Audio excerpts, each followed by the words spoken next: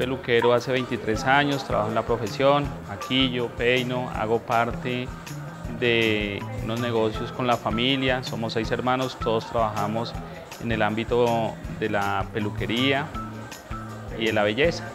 Somos tres hombres, tres mujeres, mis hermanas se dedican eh, a lo que es la parte de la estética y nosotros los tres somos estilistas.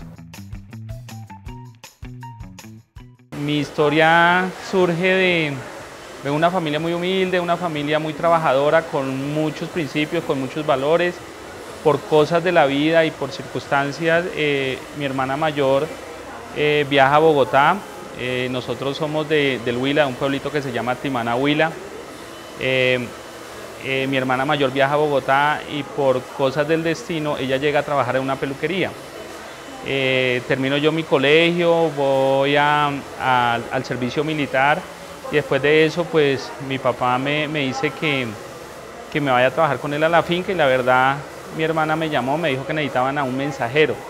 Por cosas del destino llegué a una cadena de peluquerías que fue mi, mi, mentora y, mi, ilusión a seguir en el cuento de la peluquería, pero como todo pues a mí me daba vergüenza ser peluquero porque vengo de una familia muy machista, muy, muy arraigada, donde ser peluquero pues no era el mejor honor y menos por parte de mis padres y eso. Eh, comencé como mensajero y, me dediqué a, hacer todo lo que era la parte de, vueltas y hacer todas las diligencias que requerían a la peluquería. Y don Vidal, alma bendita, que en paz descanse, eh, un día me dijo que yo tenía que ser la persona que, tenía que aprender la peluquería. Yo con cierto recelo, pero con esa humildad que me caracterizaba y con esa paciencia, él me dijo, me dijo, mi hijo, usted que ser peluquero. Yo no, pues a mí me da pena, pero también me daba pena decir que no. Entonces él llega él y me dice que tenía que serlo. Yo, bueno, comencé como auxiliar, fui mensajero, inclusive en muchas ocasiones cuidaba los carros de la peluquería. Eh, me metí en el cuento de ser auxiliar de lavar cabellos, de aprender a hacer masaje, de toda esa parte y poco a poco me fui enamorando. Hoy en día eh, ya llevo 23 años, soy el hombre más orgulloso del mundo, soy, soy la persona que ama y adora lo que hace, trabajo todos los días de la vida, soy muy pocos los días que descanso porque gracias a la profesión y a lo que hago eh, eh, he conocido gente maravillosa, he conocido, he podido ayudar y he podido inculcarle la profesión a mucha, pero mucha gente de mi pueblo, donde la única condición que yo les exijo es que deben terminar su estudio de bachillerato y así poder venir y, ingresar. Eh, eh, me encanta capacitarme, he tenido la oportunidad de viajar por diferentes países a capacitarme, eh, he tenido la oportunidad de estar en las principales ferias de moda, de, Colombia como Colombia Moda, Expo Show de Cali, Círculo de la Moda de Bogotá, Reinado Nacional de la Belleza. Eh, hice parte del Pincho Arcos durante 13 años del equipo artístico. Eh, soy enamorado de, mi profesión, me encanta lo que hago, lo hago con amor y, sobre todo con, con, pasión, que eso más que cualquier cosa es hacerlo con pasión. Al terminar mis estudios tuve que irme a prestar el servicio militar en una, en una situación muy difícil porque eso fue en el 95 cuando, cuando tuve que viajar y estaba el auge de la, de la guerra y del, conflicto armado muy muy tenaz, presté servicio en el Caquetá. Al regresar, a, al regresar a, al pueblo y a la finca, esto pues no había otra opción que, que retomar las labores, de, las labores del campo y, la verdad era difícil, era difícil y, el trabajo del campo es un trabajo muy, muy duro y muy mal pago.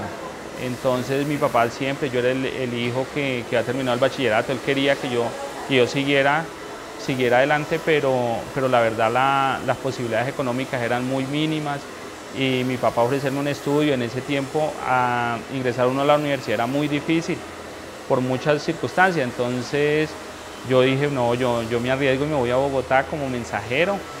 Eh, fue muy difícil porque era venir de la selva a encontrarme a otra selva de cemento. Eh, hoy en día, quien no se actualiza y quien no está a la vanguardia, eh, se va uno quedando. Cuando yo inicié en, en la cadena de peluquerías del Grupo Vidal, siempre nos inculcaban la capacitación, la capacitación, la capacitación. de eso aprendí de ellos, de que uno siempre debe estar capacitado. Hoy el mundo en el que vivimos, los clientes nos requieren de pronto de que eh, saben más que uno, las redes sociales, todo, todo les está llegando y tienen uno que vivir actualizado no solamente en la parte de cabello, sino en la parte de maquillaje, en la parte de vestuario, cuáles son las tendencias, qué se viene. Hoy en día es muy fácil. Cuando yo estuve, tuve la oportunidad de, tomar una capacitación con, con la Pivon Point, que llegó la representación aquí para Colombia y la tomó Martín, y tuve la capacitación, era demasiado costosa, pero mi mentor, que fue Don Vidal, y la señora Gladys, que ha sido mi mamá aquí en Bogotá, aquí, aquí en Colombia, aquí en, en, el mundo de la peluquería, fue para mí una mamá y la quiero también esa señora, fue la que me inculcó y me enseñó muchos valores y el respeto sobre todo por hacer las cosas que se hacen. Ellos me, me incitaron a, a, ser parte de, de una capacitación que se llamaba la Pion Point. Es un método de peluquería que es muy bueno, la base principal que en Chicago y fue cada día me enamoraba más de, aprender uno a conocer cómo era el, sistema óseo de la cabeza, la cantidad de cabello, el grosor, eh, toda la parte del cabello. Después eh, con la parte de Chuarco, eh, Chuarco que es una de las casas comerciales, también tuve todo el tiempo las capacitaciones, había una, ellos tienen una herramienta de capacitación que es muy buena, que se llama Essential Looks. Hice parte del equipo muy, muy, muy bueno y siempre nos mantenían capacitados. Venían desde Alemania, venían desde de diferentes partes y, o nos enviaban los, los kits para, para ser parte de, esa capacitación. También tuve la, la, oportunidad de trabajar con Vela y hoy en día eh, soy casi que exclusivo con la marca L'Oreal. Creo que es la marca que, que más exigen las clientas, es la marca que, que, más representa en la parte de innovación, en la parte de cuidado del cabello, eh, hay la marca Kerastar que es la que más requiere, eh, como el cuidado. Siempre he tratado de trabajar con los mejores productos, las clientas que nosotros o las clientas que nos visitan eh, son muy exigentes y yo creo, a mí me encanta eso, que el cliente sea bastante exigente porque cuando, lo, cuando el cliente es exigente lo obliga a uno a mantenerse actualizado, a mantenerse capacitado, siempre el cliente va a llegar, va a saber mucho más que uno, o, así no lo sepan, le van a hacer creer a uno eso, entonces siempre uno tiene que estar dispuesto en eso.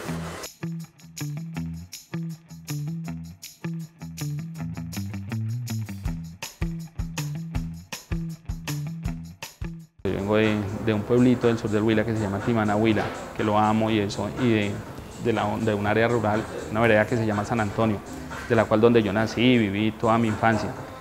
Ese tabú se rompe de una manera muy fácil cuando se dan cuenta de que, de que ese bendito mito, de que ser peluquero, entre comillas, o sea, comienzo yo a vivir mi vida, comienzo yo, de pronto cambió mi apariencia, mi forma de ser, mi forma de pronto de vestirme, de arreglarme, ya yo comencé a relacionarme con, con las modelos, con los diseñadores, con, a capacitarme con, con, gente que venía del exterior, con un equipo internacional, hago parte del Team Arco durante 13 años y comienza la gente a ver mi vida y comienza uno a ser ejemplo. Uno en la vida se convierte en ejemplo para bien o para mal.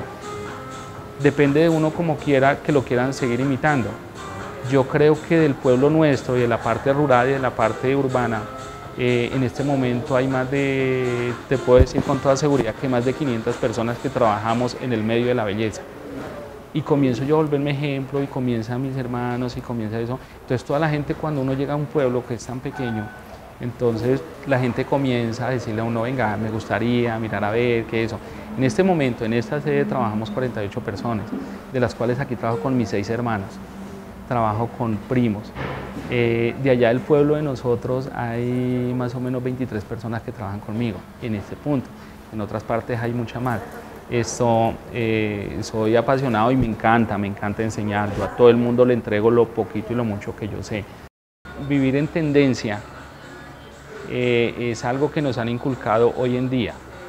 Hoy en día todo se nos está volviendo la parte material, la parte Yo pienso que lo primero que tenemos que ser conscientes nosotros es hacerle creer al cliente lo bello que es o lo bella que es desde lo interior. O sea, eh, pienso que uno puede vivir a la moda pero uno también debe ser consciente qué me conviene y qué no me conviene. Yo no puedo llegar y decirle, y decirle a, una persona, no, es que como está la moda, el color verde, entonces le pongo a una señora de 90 años color verde.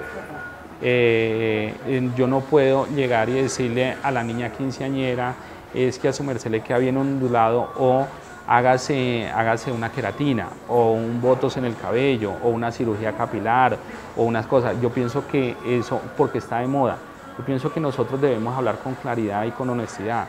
Hoy en día hay muchas, muchas cosas en el mercado. Si estamos viendo, están llegando muchos productos en que son buenos para el cabello, pero también son muy dañinos. Hay otros que son muy dañinos. Uno ve en el mercado, por ejemplo, procesos de alisado que son demasiado agresivos para el cabello y se los quieren hacer niñas como desde los 13 años. Eh, es lo mismo que está sucediendo con la cirugía, con la cirugía estética. Eh, es un mito que la sociedad está sembrando en el mundo de la belleza de que, oiga, la cirugía de nariz o la cirugía de senos o una lipo y eso. Yo pienso que nosotros deberíamos trabajar más en, resaltar las bellezas que hay sin, meternos tanto en, lo que en lo que el mundo exterior quiere ver. O sea, de eso también depende mucho, de, ser muy honestos a la hora de trabajar y, debería ser un compromiso de nosotros como estilistas, de nosotros como peluqueros, llegar y, hacer un acompañamiento y, una ayuda a cada uno de nuestras clientas.